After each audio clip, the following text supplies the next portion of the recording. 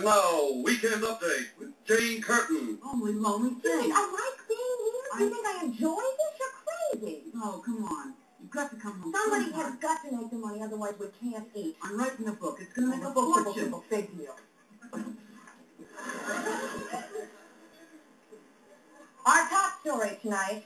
Still trying to make up his campaign deficit, President-elect Carter has taken a part-time job delivering dry cleaning in the Washington area.